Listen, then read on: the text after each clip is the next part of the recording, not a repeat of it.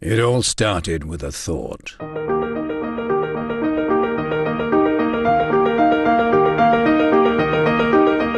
What should business in the built environment do to answer the challenges that face the world we're living? For years, the signs of global warming have been all around us, sometimes causing chaos and disaster. It was an eerie sight watching a great city brought to its The knees. second wave of a storm system that has caused chaos Path since death and destruction 200 miles dry on the prairies, and many farmers have given up praying for rain. Our natural habitat is being overwhelmed by urban sprawl. Carbon dioxide and other gases must be the cause. And in the UK, around half of those gases are produced by the built environment. It's time for us to wake up. I think if we called it personal weather crisis, people would feel a little bit more motivated to do something about it. Time is running out. And there's no place for any more greenwash. It's time for Think.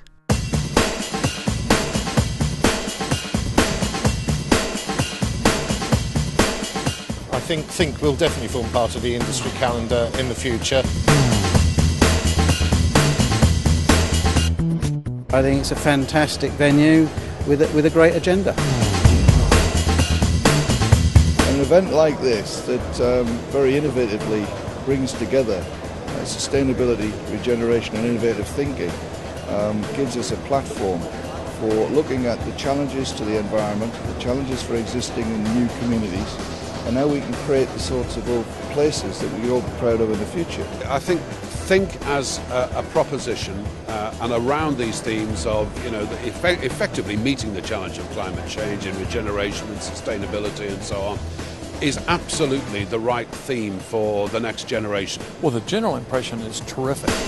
The, the range of speakers, I think it's really important in the environmental movement to hear from all sorts of different kind of people, from government, from business, from architects, from everybody, and it's been really good. And then, of course, uh, this last session with Gore and uh, John Prescott was uh, terrific.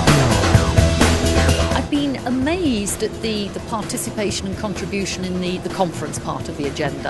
Uh, I think that's been absolutely terrific. All of the sessions I've either just sat and listened to or been part of or chaired have been hugely well attended. Most have prompted some very interesting questions, and a lot have prompted quite heated discussion afterwards. There isn't another conference that I've been to that has, that has sort of captured as many quality speakers and, and hit the right topics together.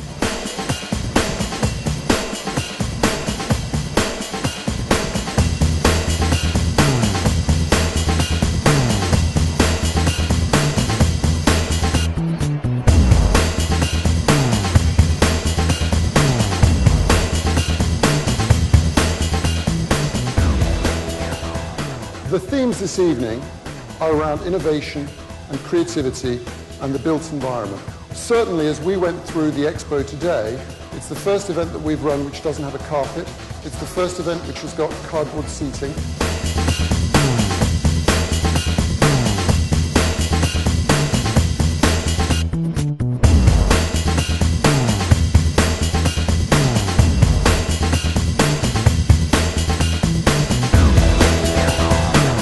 I think whoever came up with the idea of linking regeneration with innovation and sustainability was onto a stonkingly brilliant idea.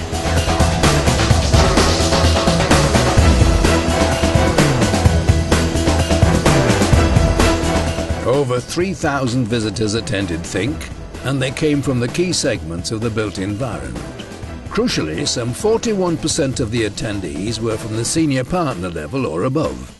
This unparalleled level of seniority contributed to the highly successful Business Leaders Summit. The resulting Prince's Charter, 10 Actions on Climate Change in the Built Environment, was delivered to John Prescott after the live link with former Vice President Gore. Think isn't just an event that happens once a year. You can continue the debate, network, and showcase your company on iThink, the new built environment community networking website.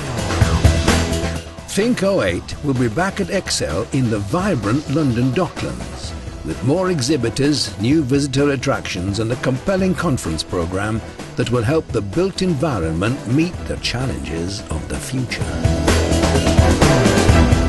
Come to think, if you really want to think about this,